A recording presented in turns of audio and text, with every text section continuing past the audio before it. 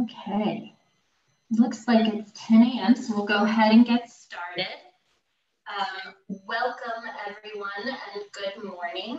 Uh, my name is Meredith Mavero and I'm the manager of student programs and community outreach for the Institute of Politics. Um, and again, welcome to our panel discussion on addressing education equity during and after the pandemic. We are so pleased that you found time to join us this morning for this important conversation about how education has been reimagined, how policy will shape the future of equity in education, and how you can help. Uh, today, you'll learn more about how you can get involved in education equity and other policy issues with the Elsie Forum. Uh, then you'll learn more about the IOP and its Education Policy Committee, where we'll hear from a few of its members, including State Representative Ed Gainey, Dean Valerie Kinloch of Pitt School of Education, and Dr. Stan Thompson, the Senior Program Director for Education and the Executive Director of Pittsburgh Readiness Institute at the Heinz Endowments. All of our panelists are working very hard to improve education equity in our, in our region and are major contributors to the IOP's Education Policy Committee's latest project, Learning from Crisis, creating nimble, high-performing learning environments that provide continuity and equity in education. Following the panel discussion, there will be an opportunity for the audience to ask questions uh, using the Q&A function of the Zoom webinar. So if you have a question, feel free to type it in there at any point during the discussion. And our moderator will pose your questions to our panelists during the question and answer portion of this program. But before we dive into the edu education equity discussion, allow me to introduce the Elsie Hillman Civic Forum uh, and highlight a few ways students and community members can get involved with us. The Elsie Forum provides Pitt students and community partners the opportunity to join together and work on education equity or other social issues. Uh, students can get hands-on experience working with an elected official, a nonprofit, or other agency through one of our long-term experiential programs or discuss these issues with community leaders at the Never a Spectator Civic Engagement Forum. Uh, they could talk with an elected official at Legislator for a Day, or learn more about governance and policy through the Dick Thornburgh Forum lectures and the IOP's new Governing in Crisis video series, which you'll actually see a brief clip of later. The Elsie Forum leverages the existing relationships of the IOP and its committees and provides opportunities for students to get involved in one or more of the four civic pathways that the IOP itself engages in. For example, students can intern with an elected official. Uh, they can learn and learn how policy shaped. They could join the Elsie Scholars Program or Ambassadors for Civic Engagement Fellowship and see how their uh, organizations influence policy through activism or community organizing or how philanthropy influences policy priorities all while engaging uh, with communities and its leaders to help address major policy issues our region is facing. Uh, students can even join in the work of the IOP and its Education Policy Committee or any of the other policies uh, by being an intern with the Institute itself. Um, in fact, we have a student working with us on this project that you'll be learning more about today. But to shed more light on the Institute of Politics and the work of its various, various policy committees, we'll hear from Samantha Balbier, the director of the Institute and the Elsie Forum. Um, prior to joining the IOP, she worked on a range of policy issues.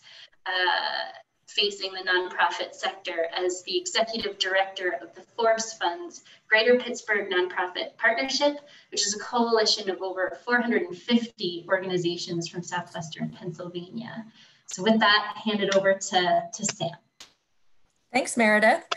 Good morning, everyone. Um, we're very pleased that you're here today to hear more about one of the projects the Institute of Politics is working on, but that our region and our country um, are very concerned about, and that's education equity and how we've realized through the pandemic um, the importance of addressing equity in education. Not that we didn't know that that was a significant issue prior to the pandemic, but um, the way in which students have had to go to school over the last several months has really highlighted the inequities through the system.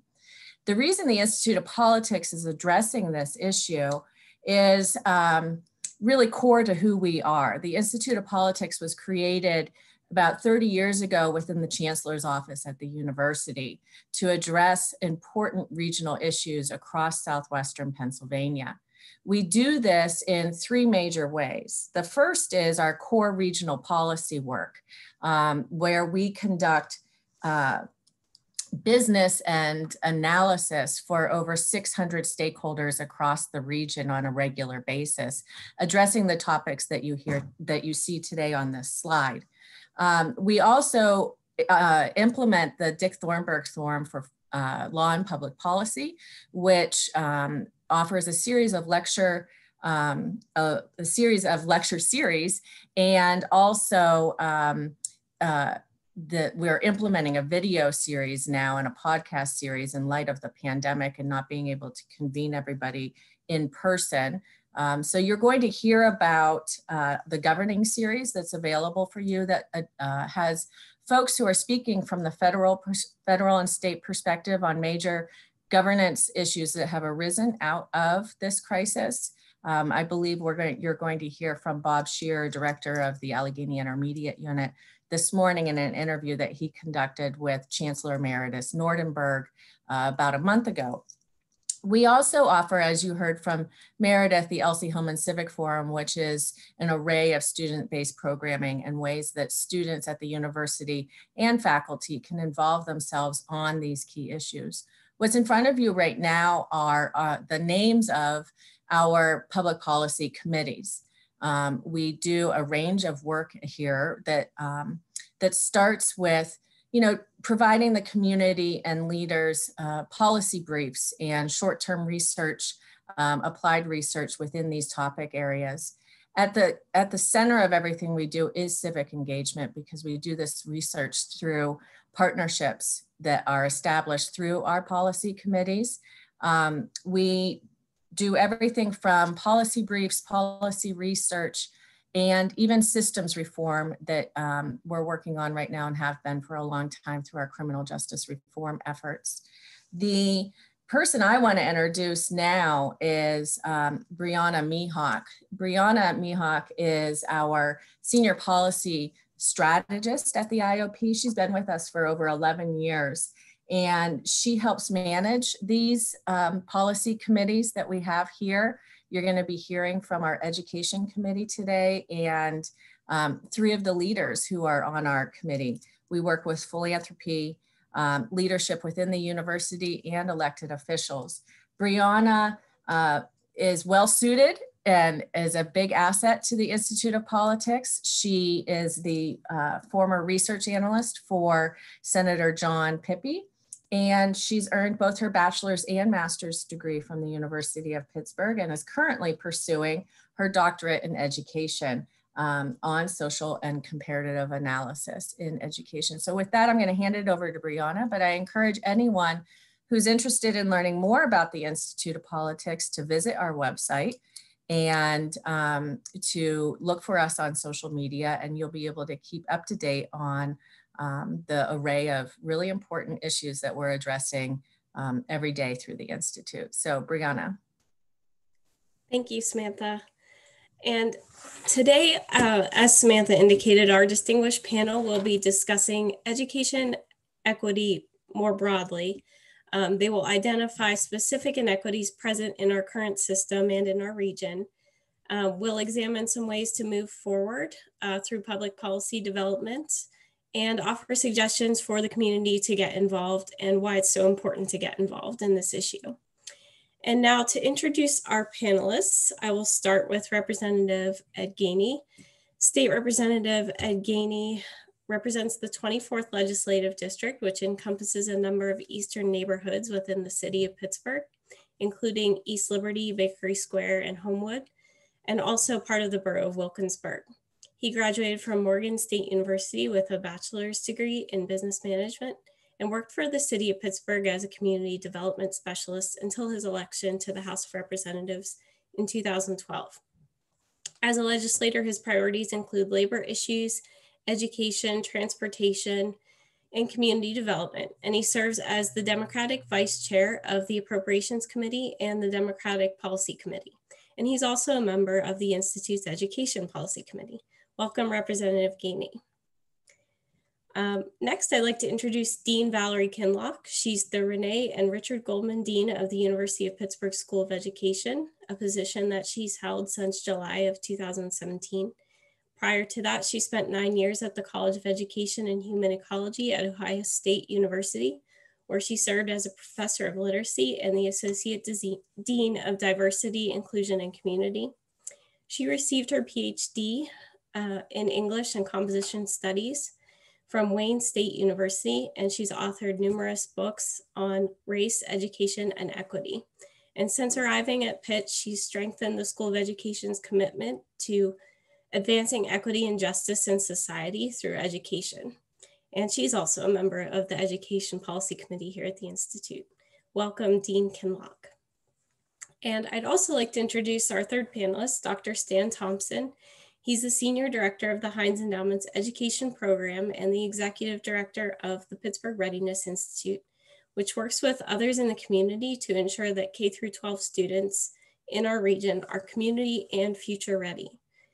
Uh, before joining the endowments in September of 2008, he was the executive director of Times Squared Academy for Engineering, Mathematics, Science, and Technology, which is a charter school in Providence, Rhode Island that provides a learning environment that exposes children, particularly students of color, to technology, engineering, mathematics, and science. Throughout his career, he has also served as a middle and high school English teacher, a professor, and the director of a Center for Career and Technical Education. And he currently serves as the chair of the Institute's Education Policy Committee. Welcome, Dr. Thompson, and thank you all for being here. Um, as Samantha noted earlier, I would like to begin our panel discussion today with a clip from our governing series, uh, Governing in Crisis series. And recently, we were fortunate enough to have Dr. Scherrer, the new director of the Allegheny Intermediate Unit, as a guest on that series. And uh, we have a clip here from that interview where he'll describe some of the inequities uh, that he sees in districts across Allegheny County.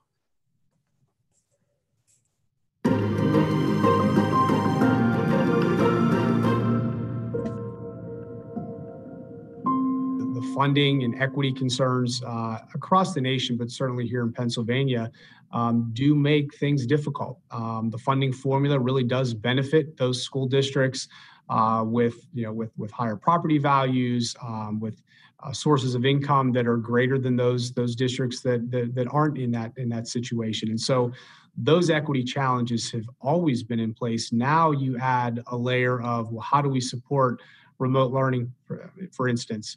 Um, you have school districts that prior to COVID had very robust technology programs, and they were utilizing equipment, they were utilizing uh, technological resources. You had families that had access to Wi Fi at home.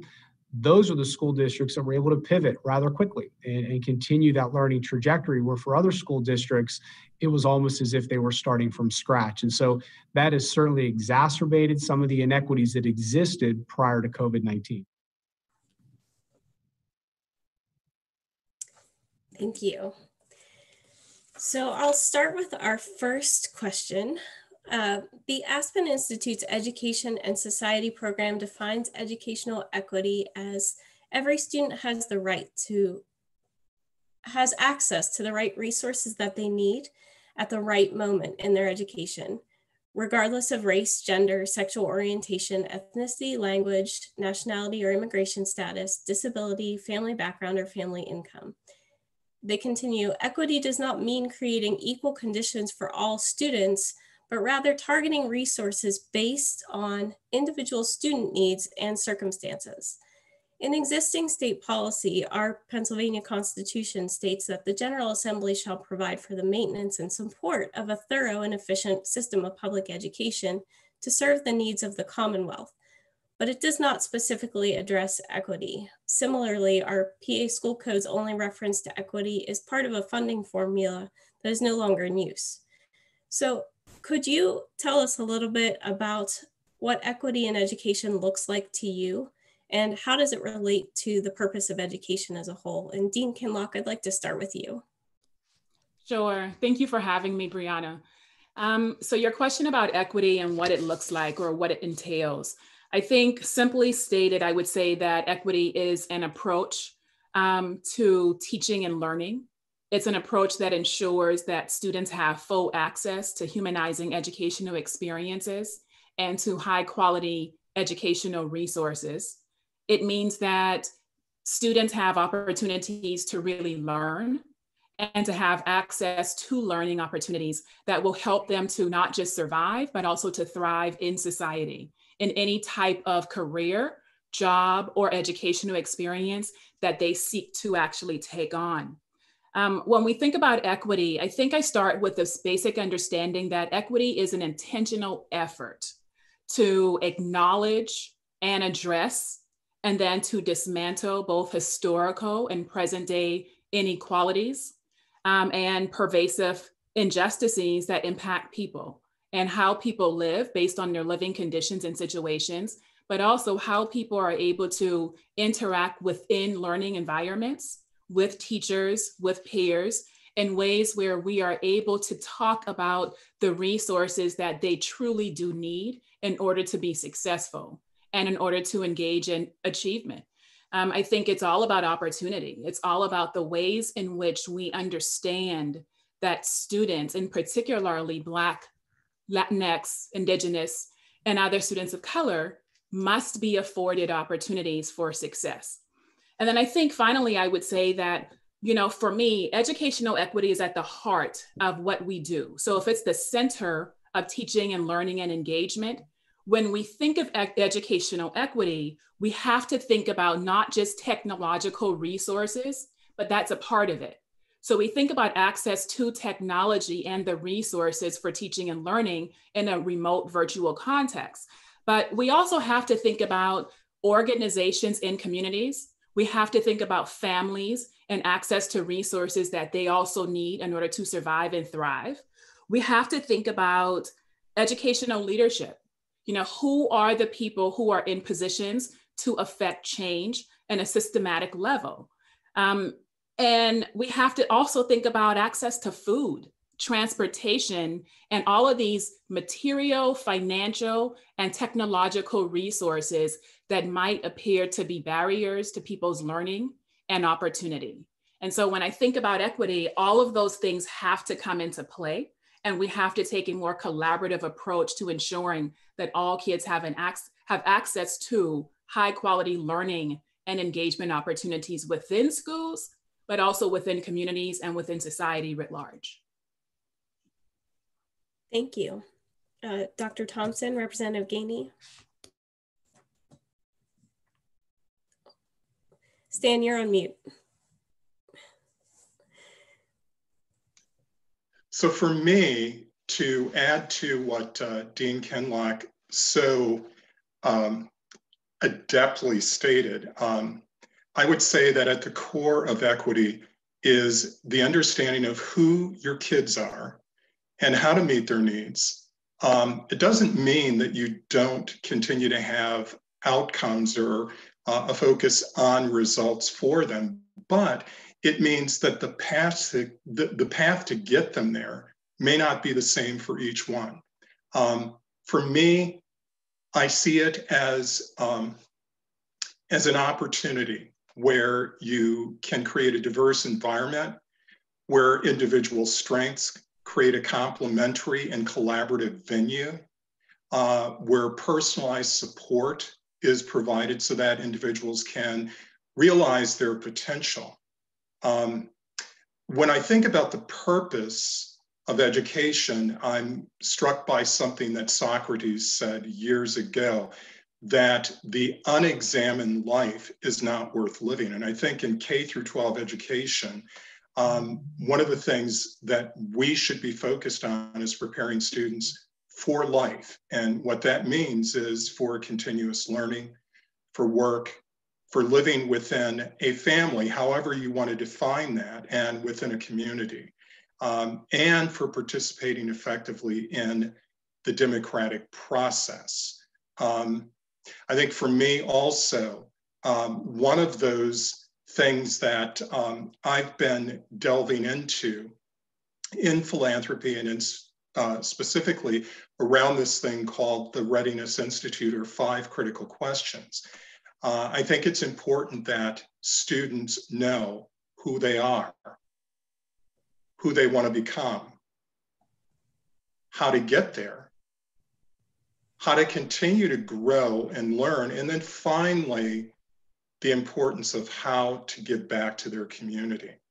I think this is part of what Socrates was talking about. And within that context, within the kind of support that we can provide, I think we can indeed be focused on equity in education. So um, that's what I would contribute to what I think Dean Kinloch had astutely framed for this discussion. I, I think Dean Kinloch really, you know, she said it all. You know, um, equity is about access, and our ability to have access is the way that we change and develop our mind. Um, you take a lot of these kids, if they see the same thing every single day, particularly coming out of low-income communities, what I try to explain to them is that learning breaks poverty. And the reason why education becomes so important and why access is so important is because the more that we can show these children, the more they can dream to be what they want to be. Sometimes if they don't see, if they don't have access to be able to see certain things, they get stuck in the mindset that what they see every day becomes their reality. And even though you live that reality, that is not your future reality. Your future reality is what you dream to be. But I can't I can't impregnate that thought unless I show you access to different things that you can be. Not just an NFL player, not just an NBA player, not just someone that does here, but you can be what you want to be. So I think number one is access. And when you talk about access, you got to talk about it from a couple different levels. One is funding. You know, you, you said it perfectly. The funding formula really benefits um, communities that have a higher tax base. But the reality is, we can't continue to have that level of funding go to them if we're going to talk about how we break poverty. You need to have some of your best teachers in your some of your low income in some of your low income community schools to help them children see. And the second thing is diversity in teachers. You need to see more black and brown teachers in this school system that they understand the social economics that these kids come from, that they understand the racial disparities that they deal with, that they can understand and also help them help them and help them know their history. We got to change the way we see history. It just can't be from a European lens that this is what history is. I often tell people, particularly my colleagues, we study more European history than we study American history. You know, we study, you know, they don't understand how blacks, whites, Latinos, Asians, Jews, we all helped build this great country. We all contribute, but you don't always see that in the text of the American textbook as we see it today. It's more of a with a European lens. We got to make it a more of an American lens so each one of our racial groups can understand their contributions to this great country called the United States. So when you talk about equity, equity is again redefining the history so that everybody can understand who Frederick Douglass was and how he got here, how we overcame slavery, what it meant to be three fifths of a man, what it meant to go through Jim Crow, what it meant not to be able to loan, own land, put money in the bank, go to school, what it meant to say, listen, hey, George Washington was the first president, but if African Americans, men couldn't vote for the fifth to the 15th Amendment and women couldn't vote to the 19th Amendment, then yeah, he's America's first for president, but he's not mine because we couldn't vote. So, you know, people need to know that, know how we moved into civil rights, whites here, um, colors only, even into talking about how we deal with mass incarceration and what's that done and the impact that it's had in communities. We have a host to be able to talk about how learning breaks poverty. But until we have access to true history and really breaking down how far we've come as a people, as a race, that's always going to be a problem and a barrier that we have to overcome. So the more access we give our kids, the more they can dream, the more they can think, the more they can escape the poverty in which they come from.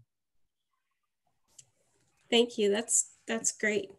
Um, really powerful. And I actually would like to direct the next question to you, Representative Gainey, uh, first. So we've seen the inequities in our education system. You talked about them, Dr. Scherrer talked about them. Um, and nothing in this COVID 19 crisis is equitable from who contracts the disease to who's suffering from unemployment to what communities are affected and who's affected when schools aren't physically able to open.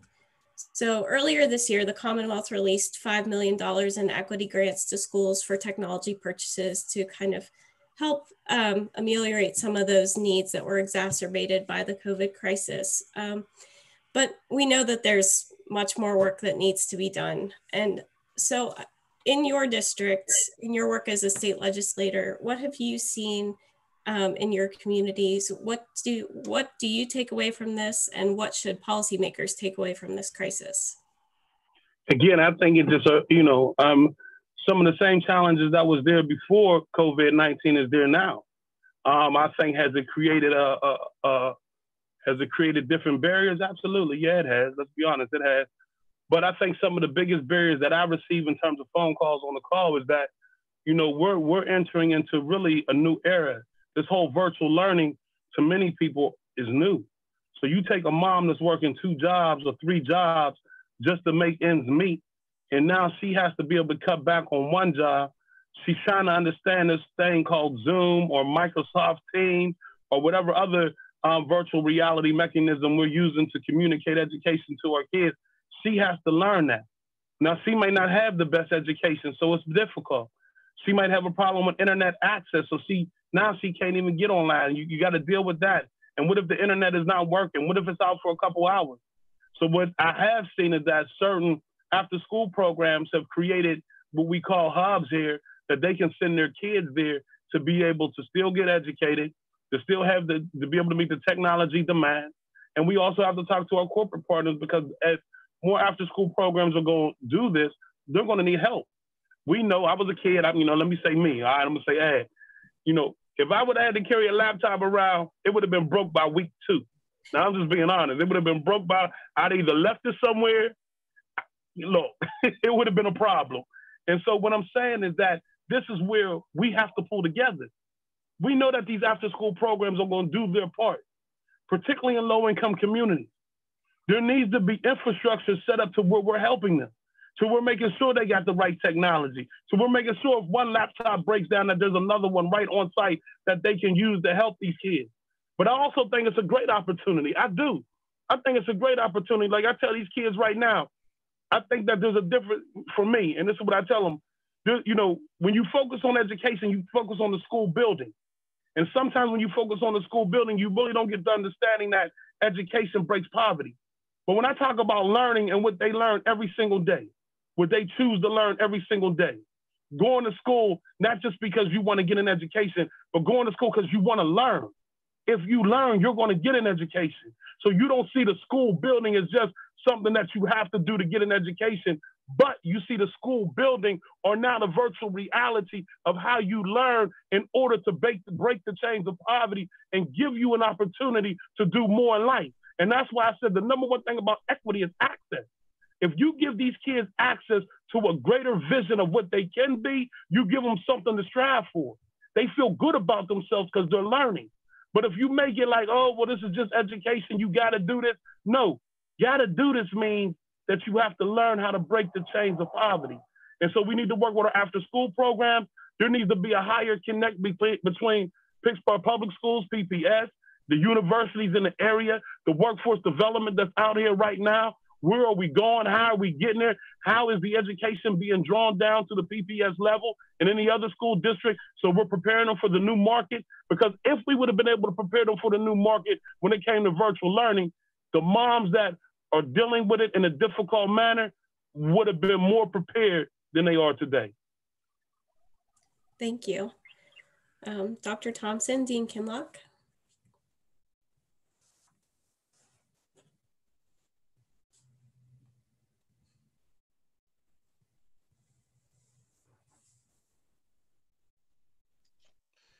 So I think I've heard the uh, the phrase access and opportunity uh, used several times. Representative Gainey, uh, Dr. Scherrer used it in his video.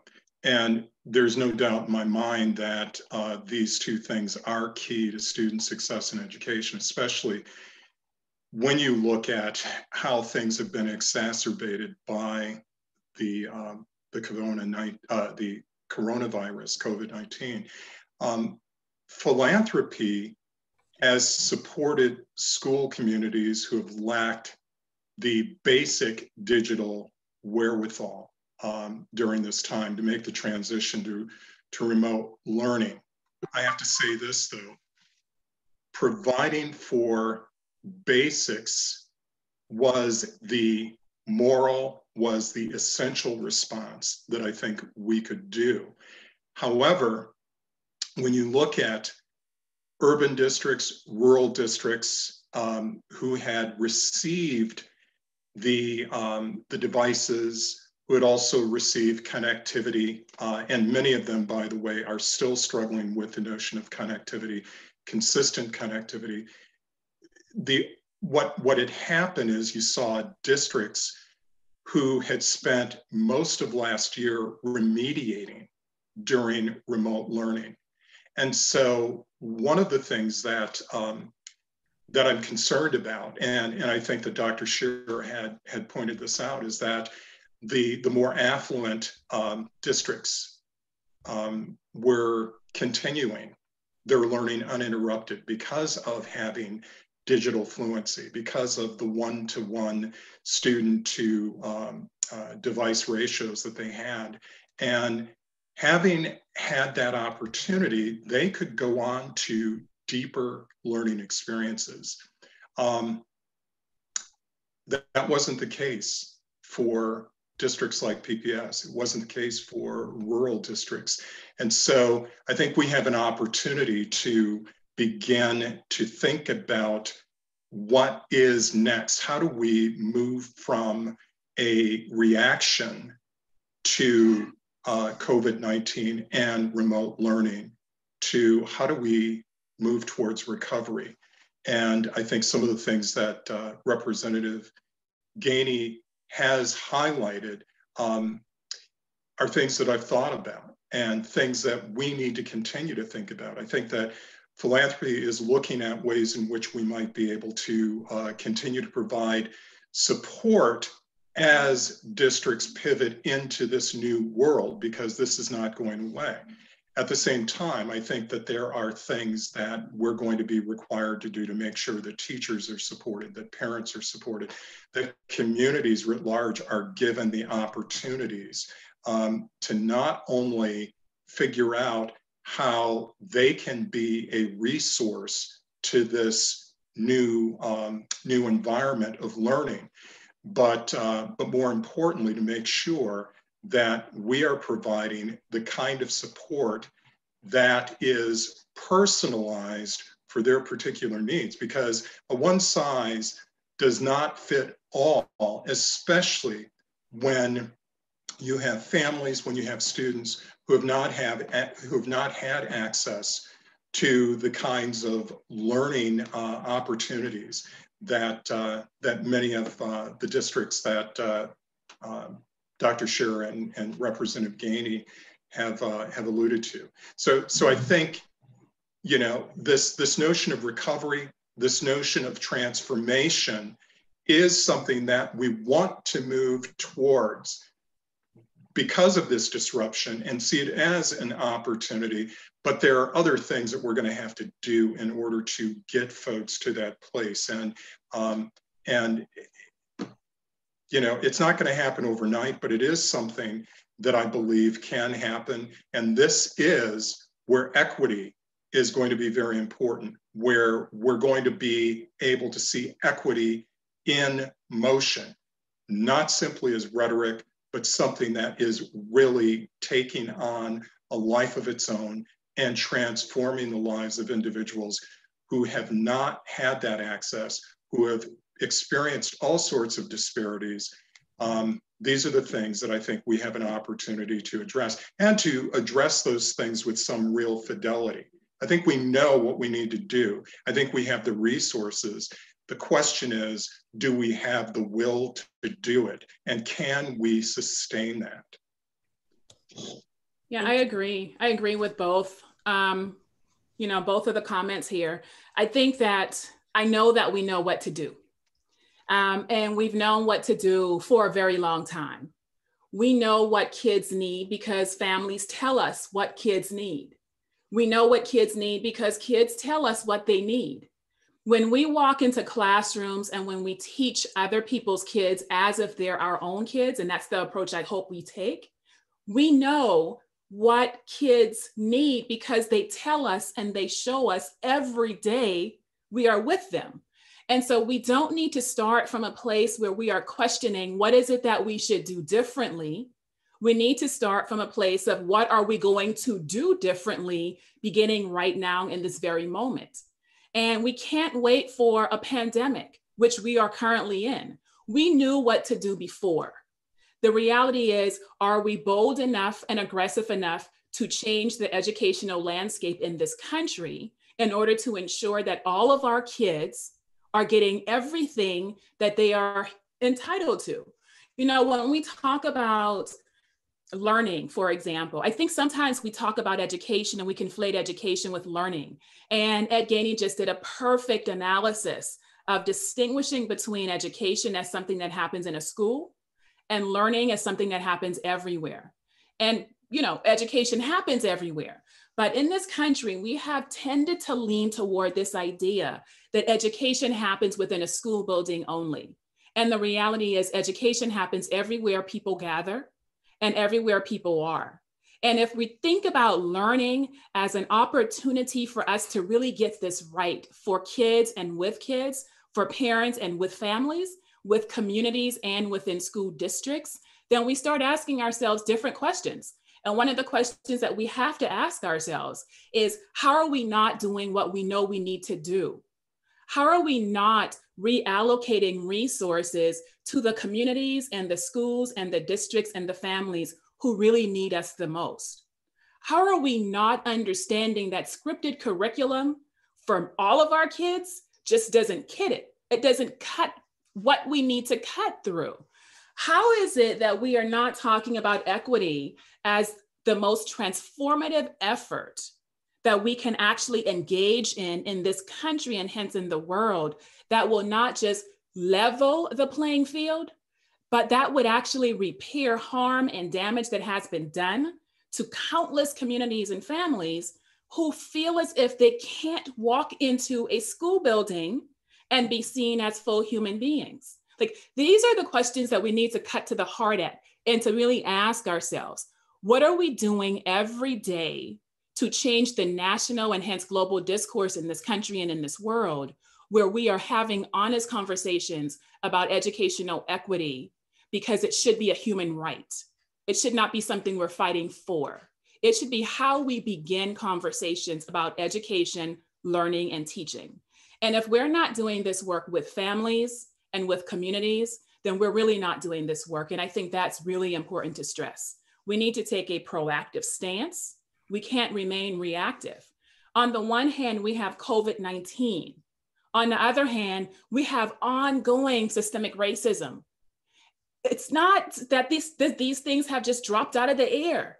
We have ongoing systemic racism that has always painted a certain national landscape for peoples of color in this country. And yet, when we think about what the purposes of education were meant to do for people, we have not begun to fulfill that, especially for the kids and the families who need us the most. And so, yes, we have to ask questions about access and opportunity. We also have to ask questions about the people who are in the classrooms teaching our kids we have to ask questions about the leaders who are governing our schools and our universities and our colleges and schools of education. And we have to ask ourselves do we have the same core commitment to ensuring that the lives of our kids and families and communities are central to everything that we do every single day? And if it is not, we need to have a different kind of conversation. And for me, any conversation about equity starts there. It doesn't start with the basic 101 types of conversations that some folks have about what it is. And then, okay, we got a basic understanding. Now let's just go back and do what we've always done. It starts with how do we radically reimagine teaching, learning, and engagement in ways where we are talking with and partnering with kids and families, communities, and schools because we all have to be a part of the conversation in order to change the narrative about access and opportunity. Thank you. That is helpful in setting the stage for our next question, which I'm going to turn to Dr. Thompson to answer first. Um, as Samantha indicated earlier, our Education Policy Committee is looking at this issue of creating the type of learning environment that Dr. Kinloch or Dean Kinloch uh, described. And um, what are some of the policy changes that need to occur in order to enable these types of learning environments to succeed on the ground? Um, Dr. Thompson, do you want to talk a little bit about that? Sure, I'd be happy to. I think one of the things that's in play, uh, one of those uh, change uh, agents or levers, I should say, that is in place um, is a basic education funding formula that the state does have. Um, in theory, sounds good. In practice, we're not there. And we're not there because um, I don't think that there has been a clear enough definition of what equity is and the importance of equity and the facilitation of equity through uh, making sure that the right funding is provided for those districts, for those communities that need it the most. So I think that's that's one thing, making sure that it's not simply um, a matter of having a structure without substance, but making sure that that funding formula that is indeed in place has the requisite funds and the focus on equity to make sure that it can provide the leverage that's needed to address many of the things that we've been talking about thus far. Uh, I think the other thing, and Dean Kinloch had alluded to this, I think teacher preparation programs are, are, are key at this point. Um, they can make the most of deeper learning and understand the importance of things like digital fluency. Um, they can help us understand, if done right, they can bring into focus the notion of social emotional learning and culturally responsive learning within the context of education. I, I thought that uh, what, what Dean Kinloch had stated and Representative Gainey in making the distinction between education and learning is crucial. And I think teacher education, teacher preparation programs have to also spend the time to make that, that same distinction and to prepare teachers to understand the important role that they play in living out that distinction day to day in the classroom. Um, I think the other thing that has to uh, has to happen is there there has to be the elimination of, of barriers that prevent full participation of all peoples. Um, beyond beyond what we see, and I'm, I'm, I'm talking right now about the uh, the assessment programs that uh, that the state has used, that that districts have have used. Um, we need to move beyond simply uh, fixating on numbers, and it's really got to be numbers and narratives together to validate student experiences. If we're going to see something that is going to help us learn from this crisis that we're currently in. And if we're really going to be um, a, um, I guess, a, a country, a, state, uh, a region that is um, hoping to do right by our communities, those are the things that I think have to be in place. Thank you. And we are running very short on time, and I want to leave some time for questions, but I also want to get to our last question. So I know Dean Kinloch and Representative Gainey, you probably want to respond to that question about policy, but I also would ask if you could talk a little bit about the ways in which uh, the students here at the university and the broader community could get involved in this issue. I would greatly appreciate it. I'll turn it over to you first, Representative Gainey. Right, Dean. Thank you. Um, I think Dr. Thompson hit, hit, hit it on the nail. I'm going to bring it from a different level, though, but I think he was 100% accurate. When you talk about the funding formula, you're really talking about interest.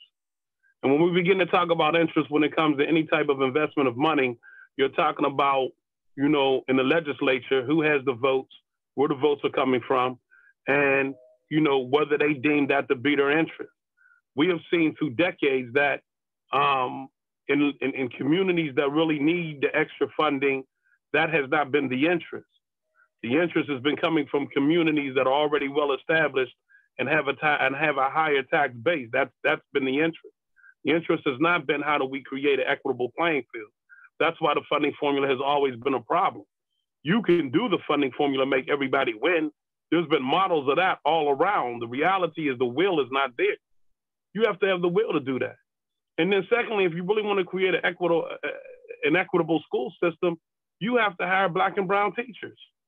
You you cannot continue to have a school that got one African American teacher, but the the student body is 60% African American, and you think that someone that's never grew up around, like you know, I ask people to, you know, have you grown up around black and brown people? Have you had that in your life? Because that's critical at a time right now.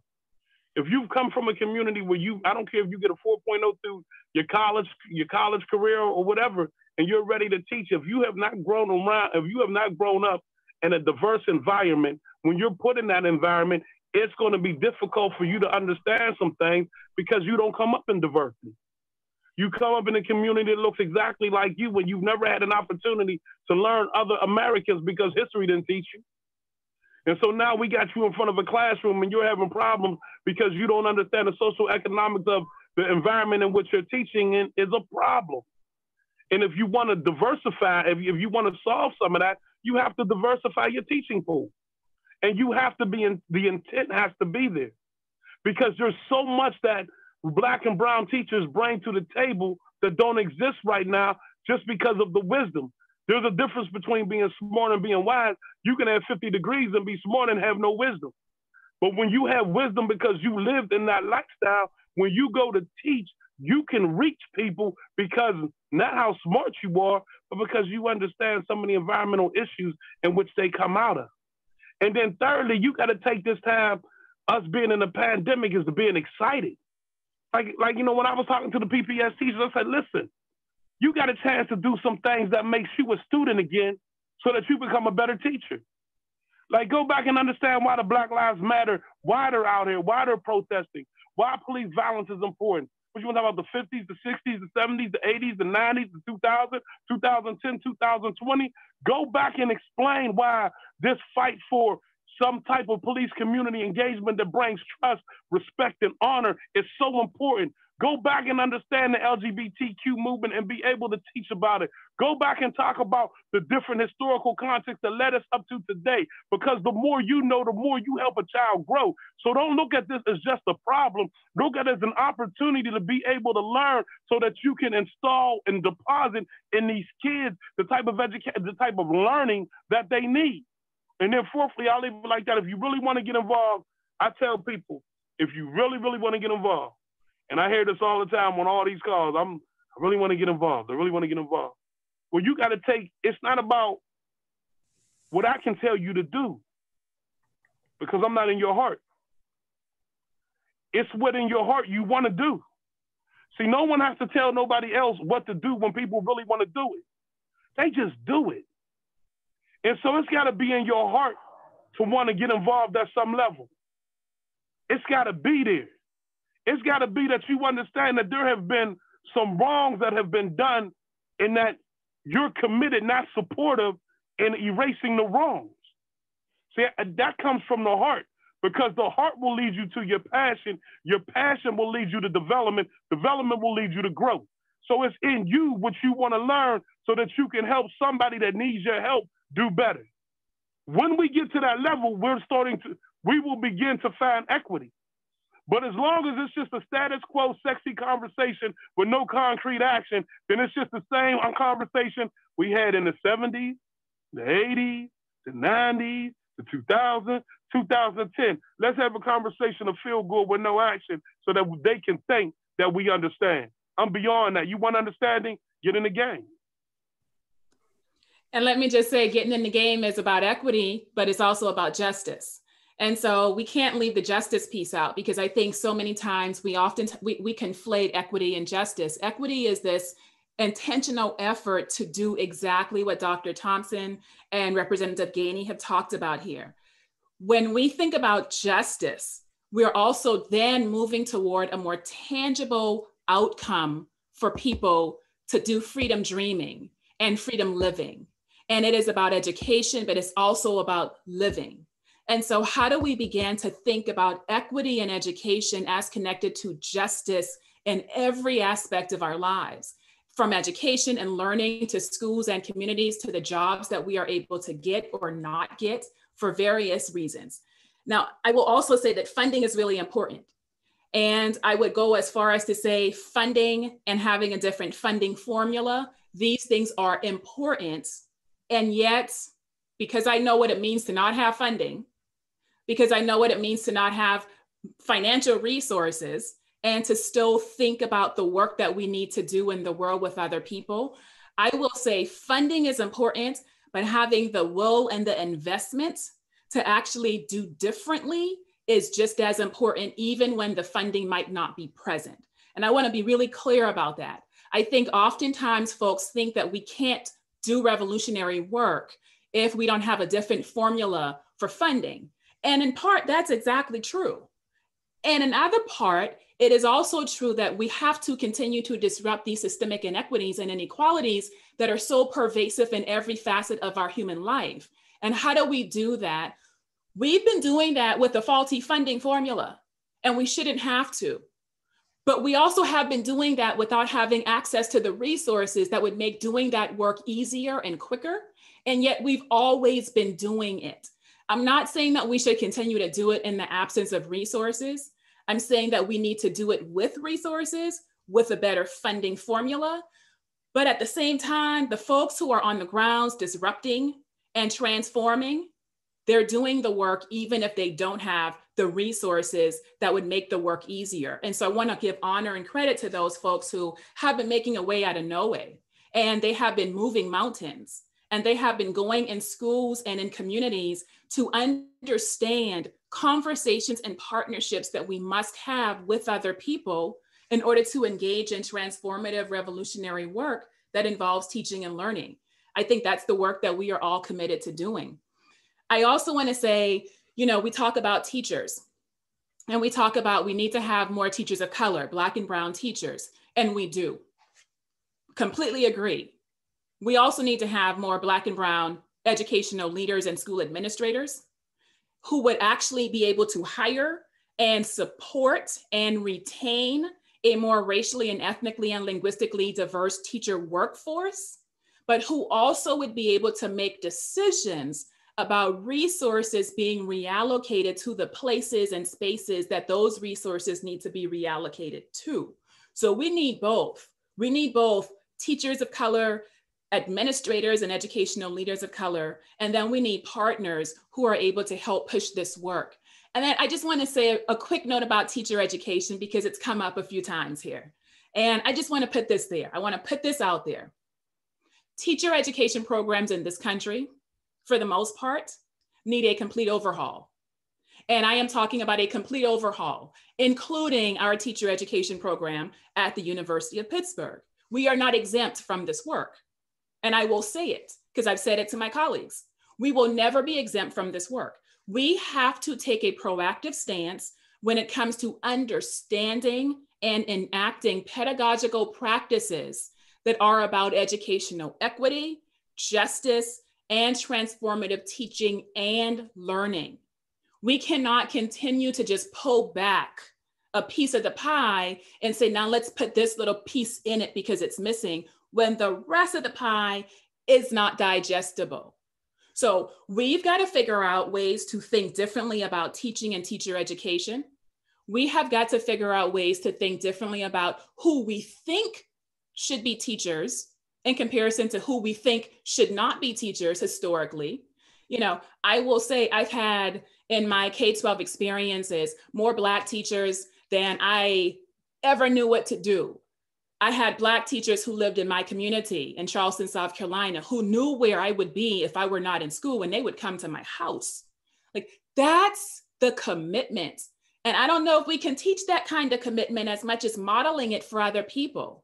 And that's the commitment that we have to have in teacher education programs. It is not just an expert who is standing before students imparting knowledge. It is about having someone who is committed to the work, being able to go into schools and communities to talk deeply about learning, the joy of teaching, and the ways that we understand people who are in communities who might not be seen as educators as educators. And I think that's the beginning of transforming teaching and teacher education programs in this country, being able to see everyone as part of this equation, as part of the reason why we do what we do. Thank you. Well, we're almost out of time. We have time for one question, and I think you actually answered the other two questions that are out there. So um, the question that we have uh, that we haven't really addressed is, are there districts or schools in the region that seem to be addressing education equity well?